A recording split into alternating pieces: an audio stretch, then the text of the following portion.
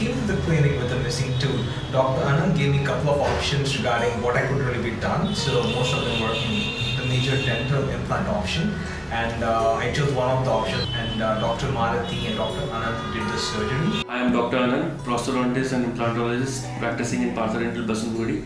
Patient named Deepak had reported to us with complaint of pain due to a failed root canal treatment in the left lower tooth region. So we suggested to him for the removal of the tooth and get it replaced with an implant. I'm Dr. Malvi, facial-maxillary surgeon and implantologist working in Partha Dental. We thought we will give him an option and as doctor told, we did an immediate extraction and an implant placement for the patient. And he was very comfortable during the treatment. And uh, haven't, so far the surgery has been very uh, smooth and comfortable one. Uh, there is no discomfort after the dental implant. Uh, so far it's been a great job by the doctors.